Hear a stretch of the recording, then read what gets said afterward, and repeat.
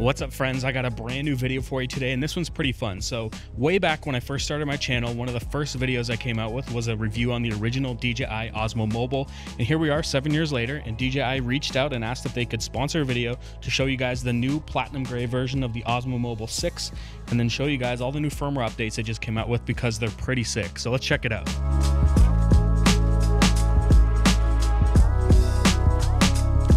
So the Osmo Mobile 6 has been out for a little while now, but they just came out with some new firmware updates, which actually makes this thing amazing. It's got a bunch of new features like Active Track 6.0, and I'm filming on it right now with the iPhone 15 Pro, and you can see what this looks like.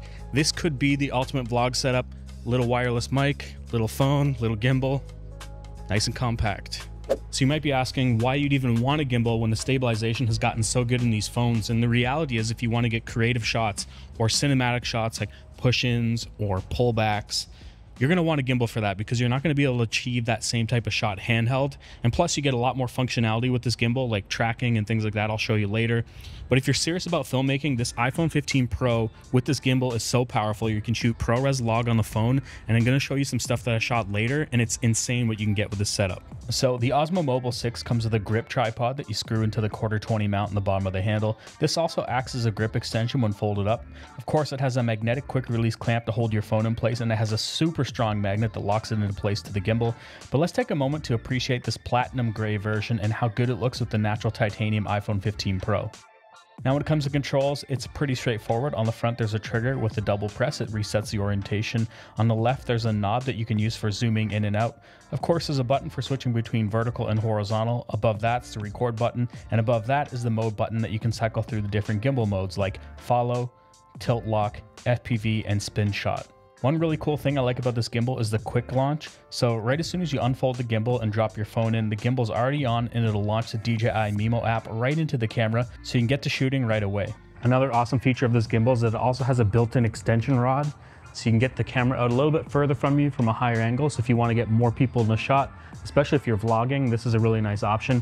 And if you just want to set it down and use it as a tripod to have that extra extension, you can do that. This will also help with dynamic angles for low to the ground shots as well as high shots above your head. It's also super comfortable to hold and you can even adjust the angle as well.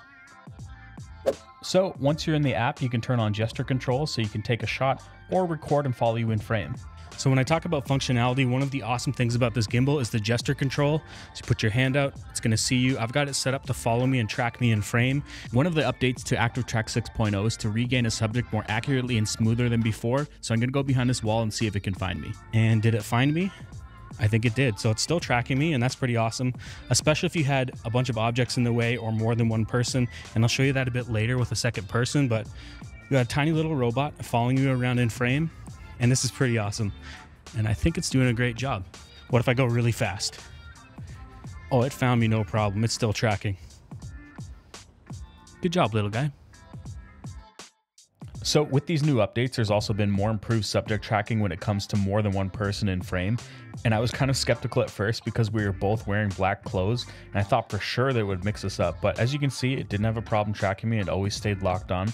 But there's also been improvements to how quickly it regains the subject after losing it. So when he stands directly in front of me, right as soon as I pop out, it knew it was me and it locked back on. It also has more improved agile tracking with faster moving subjects, so this is great for sports or kids, and it'll lock on and stay locked on even with fast and dramatic movements. And as I fall off my longboard here, we're at a full sprint, and you can see that it's still locked onto me. Even when I get closer to the phone, it continued to track me. So as I mentioned earlier, this does have a zoom knob and one of the features they added is the ability to track a subject while zooming in and out. And this is a really useful feature if you're going to try and follow a subject that's going to be further away from camera and you want to get some dynamic shots using the zoom. And I was honestly really impressed with how well it stayed locked onto me throughout all of these tests, especially when I turned away from camera and it continued to track the back of my head. Overall, all these updates and improvements to Active Track 6.0 are really impressive, and I know that DJI already has good tracking from using their drones, but I've never seen it do face detection like this. So I've been showing the DJI Mimo app and obviously you need it for all the functionality with the gimbal. And if you're more of an advanced shooter, you can actually use full manual controls in that app, which is awesome.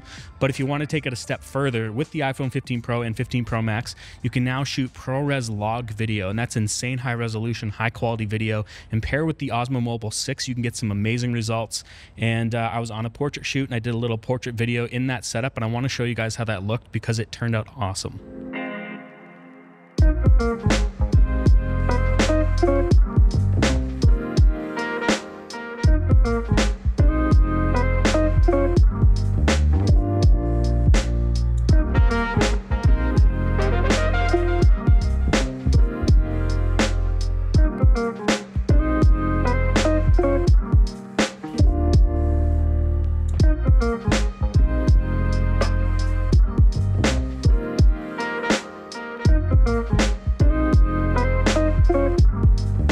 so let's talk about the app because there's a lot of cool stuff in here for beginners. So basically, they have something called shot guides, which will help you determine the scene and how to shoot it. They have tons of tutorials on different scenarios. So if you're trying to tell a story and you don't know how to get the proper shots to tell those stories, they have full on examples in different scenarios, which is really cool.